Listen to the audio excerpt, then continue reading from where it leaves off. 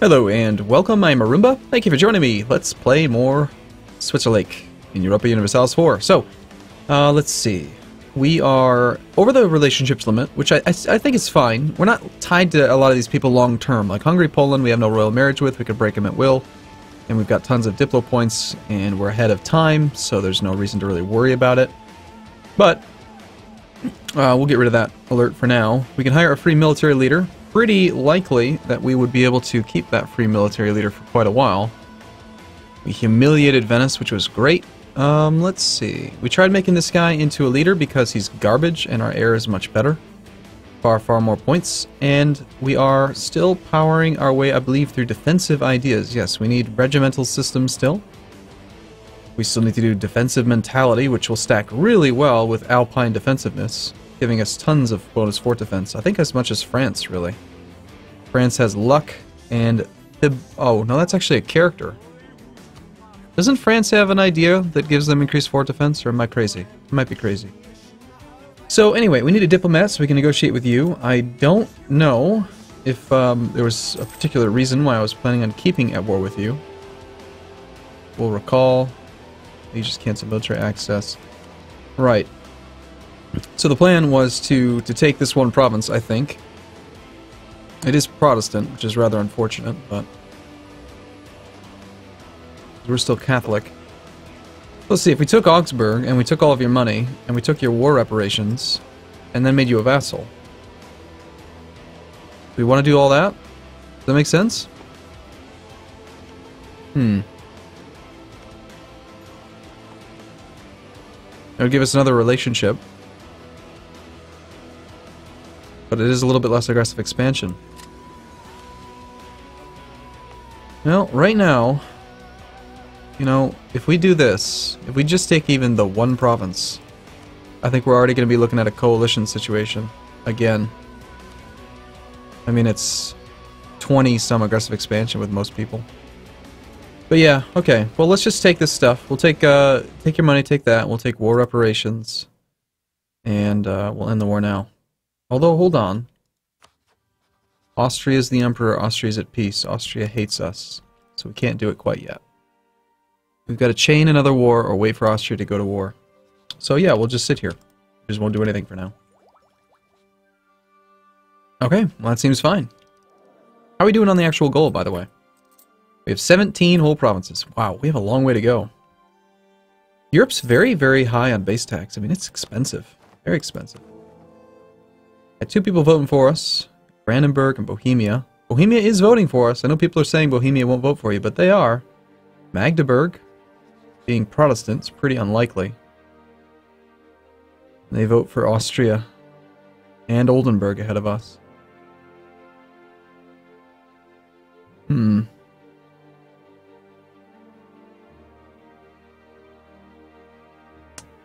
Saxony. Again. The Palatinate is probably like the best choice. That or another one of these Catholics, I guess. Relations. You are hostile toward me. You've already got you capped out on relations. It's amazing how much aggressive expansion I've done. Let's improve with Trier. We already are, okay? The Palatinate. Let's improve with them a bit. we'll stay at peace for a little while. You know what we should do is we should attack, like, attack France. We just attack France, then they're already at war with France, right? Like, if France were to just, like, die right now, we would have this in the bag. Alright. I think a better relations over time guy would be superb, considering how much uh, aggressive expansion we have. We're making 11 ducats. We're paying for full maintenance. We probably don't need to be doing that right now. But if we went with a level 3 better guy, it's 17 ducats a month. Very expensive, but maybe it's going to be what we need. I'm not going to do the, the, the purge of aggressive expansion again. I just wanted to do it the one time just to show people how to do it. And besides, it's going to get fixed soon, but it does feel rather gamey. Um, the problem is that in order, you know, I just, it's so much money, and we don't need the points. I'm just going to go with, you know what, for now I might just go with nobody, actually. We'll just go with nobody. And Hungary, uh, apparently we just refused royal marriage with you. We could call you to arms. We might as well, because it'll increase trust, I believe. I'm not, you know, I don't actually know. I know that if you honor a defensive call, it increases trust, but I, I assume the more wars you're in together, the higher your trust will be. I think that's how it works. Do we have any other allies we can call in, by the way? Let's see. So we've got Hungary, got Poland. We could call in Bohemia. So let's do that. Brandenburg. And Castile says no. So how's this war going, by the way, Castile? You're losing right now. Can you tell that it's been a few days since I've played EU4? I've been playing lots of Off-World Trading Company and a couple other games, and it's easy to get your keyboard shortcuts and everything mixed up. And you all know how much I like keyboard shortcuts. So France has 26,000 manpower. Castile, I don't see on the list. There they are. That's not good at all. Castile, how are you so weak? Ferrara has declared war on Tuscany. Ferrara, one province minor Ferrara, has declared war on Tuscany. Because Milan is at war with Tuscany. Because that is how Castile is in that war. Attacker against Milan. So that means that Castile is not even really a primary participant. So, steel might get off without losing much. Meanwhile, what are we building? Bay depots, constables, a whole bunch of stuff's about to finish. Very nice. And what I think we might do... Oh, hey. Thanks, Poland. Poland's to come in, kill the Bavarian peasants, and then take over the siege. Cool. Um, these are just peasants. We don't want to participate in that fight. We'll let the Polish men die. We're totally to help you. Not. Take Franche-Comte. Become emperor. Would be a wonderful thing, but... And the Palatinate, I don't think, is actually going to get to 100. Not without an alliance. Well, with an alliance, though, if they'd accept, if we were at peace, we could get another 50. And then we could do it. We could get them up to... There's no points, just 3 prestige. So who cares? Franche-Comte. We already have a claim on it. The idea of attacking the French just seems suicidal, don't you think? We're on Tech 10, they're on Tech 10. They most definitely have better generals. Well, how, how defensive are we so far? We've got... We've got improved morale, which just basically offsets um, Elan. We've got some maneuver. We don't yet have the defensiveness or the attrition, I think. However, we do have a march in our capital, which increases attrition. Ooh, that defensiveness too, 230%. It'll take them forever. What we should do, I think, is we should upgrade our fort levels. I don't normally spend a lot of money on that, but especially in the mountains. If we were to upgrade the fort levels in the border provinces with France, and then the mountains, it would be very difficult for anybody to actually siege our lands. Although, you know, having a fort doesn't actually doesn't actually matter. Well, no, it does. It does. Just increases the amount of time and it reduces the effectiveness of artillery. Yeah. Yeah, I think it's well worth the money. We'll do it. Especially Tyrol will be great. Tyrol busy doing something? Coring it still. Okay. Right. A little bit of peace a little bit of uh, negotiations and stuff. Württemberg, how do you feel about us? I wish there was a way that you could easily see which countries you have already improved relations with. Like, this map mode's great. There should be a way that you could just see, like, like I want to know, like, okay, Württemberg, yes, you're at positive 31, but then I've got to search through the tooltip to find the improved relations modifier to decide if I should send a diplomat there or not. Trier.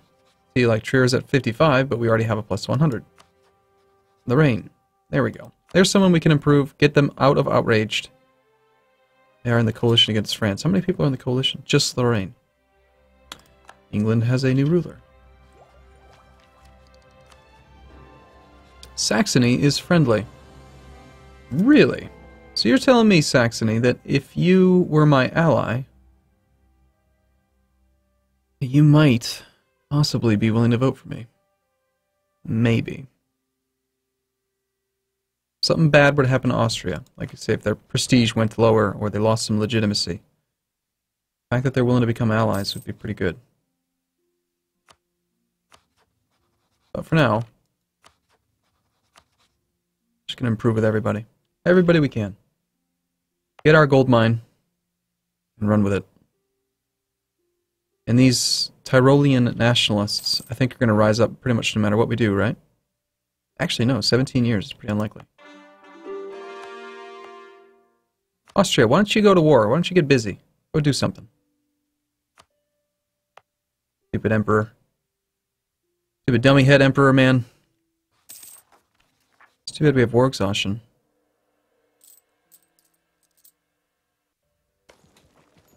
Amazingly, somehow the siege progress was given up. Poland came in, killed the army, and then left. They didn't sit there. They didn't take over the siege that was already at 12 progress.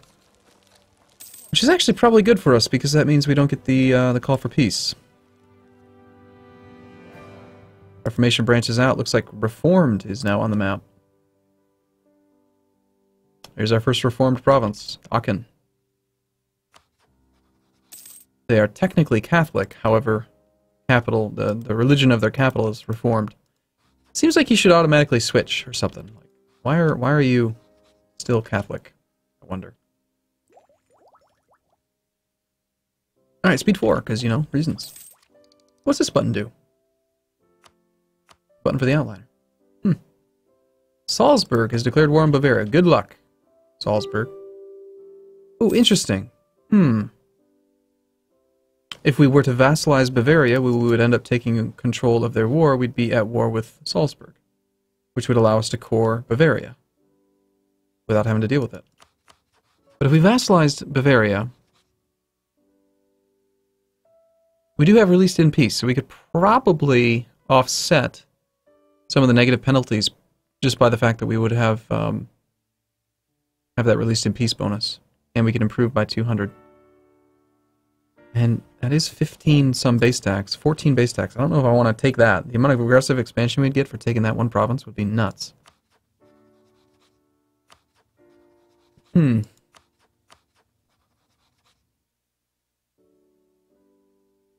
Wait till the first of the month. I'll bring Guy back. Let's just see. If I made you a vassal, we're looking now at 30 aggressive expansion. I mean that if that does if if you want to piss off the HRE, here's how you do it in one easy move. Also it costs Diplo points, but we don't care about those. Wow. I mean that would be damn near impossible to offset without doing a the gimmicky little thing. Technically, I don't want to do it because I think it'd be kind of cheap, but I could take the land, vassalize them, inherit the war, siege Salzburg, and then surrender to them, and then release it back and purge the AE. And then I can take Augsburg and then wipe AE all in one fell move. Which, now that I think about it, sounds so appealing. It really does. God, it's so hard. See, this is the problem with me. This is the problem with the way that I play EU4 or pretty much any game. It's that if there's a mechanic in the game and it's better to do it than to not do it, I feel like it's playing suboptimally to not do it. Whether it's a glitch or a gimmick or, or not, it, it it's like it, it'd be like fighting without a general or something. Like it's just this is the way I feel. It's like I can't you can't do that. You have to use a general. I mean, come on. Sure, you can play without using a general, but because you can, you should. Like, I don't know. Now I'm, I've got this mental battle to decide. Should I do it or not? Hmm.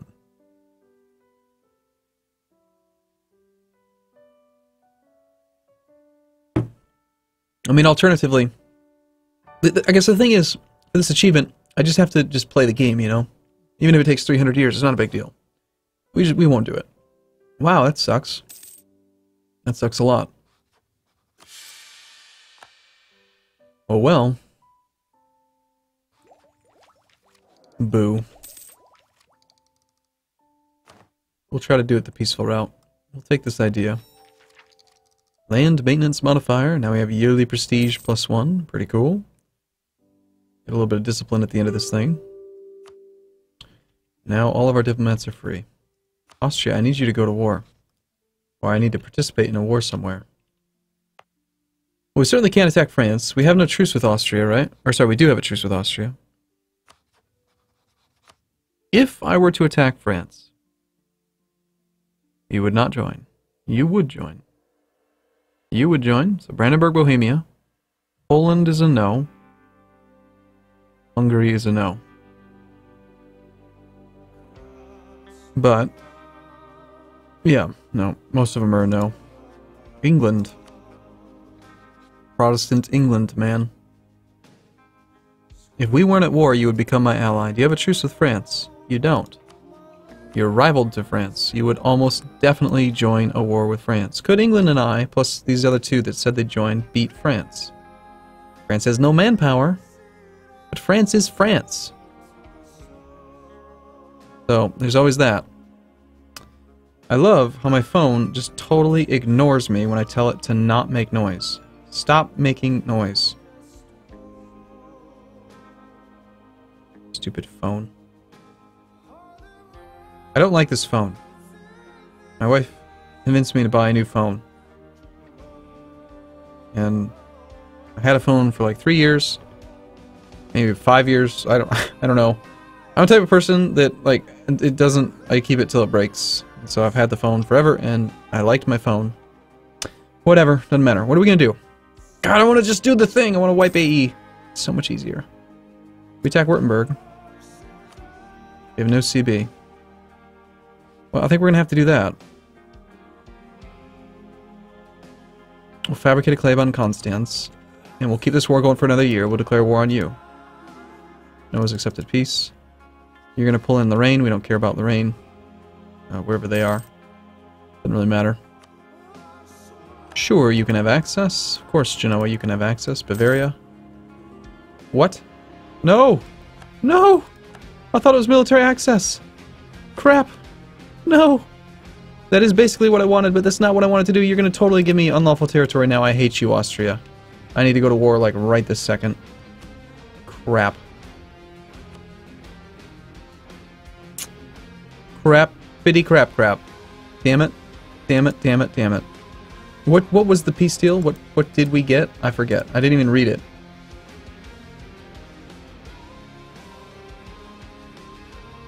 We have accepted the peace offer. Yeah, very useful to know. oh god. Why did I click it? Oh, it's not good. Hmm. Please don't do it. Please, please, please, Austria.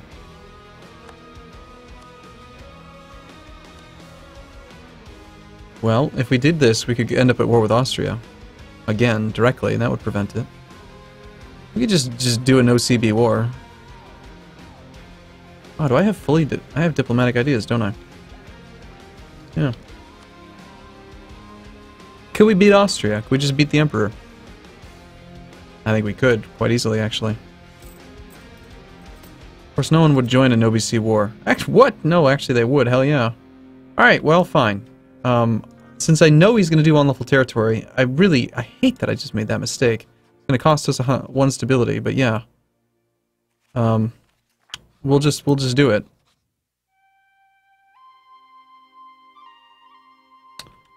Wow, annoying. We'll buy down the war exhaustion since we're not going to be at peace at all. And we have the Diplo points. And we're going to hang out in the mountains. Bohemia has refused.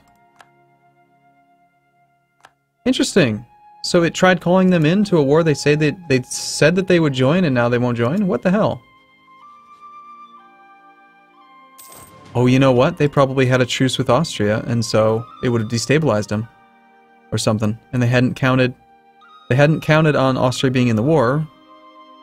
That's just some weird thing there. That's silly. So who did join? Brandenburg did. Lithuania. Poland. Oh, Lithuania had to join. Poland did. Interesting. Well, all that just because I didn't want to have to deal with them doing the aggressive exp uh, the the thing, whatever it's called, unlawful territory. Okay, well, uh, we're gonna take this and this, and I am going to take a break here. Playing Breisgau. Well, you realize we're at war, game. You can't do that. Alright, thanks for watching, everyone. I'll see you again in the next video. See you soon.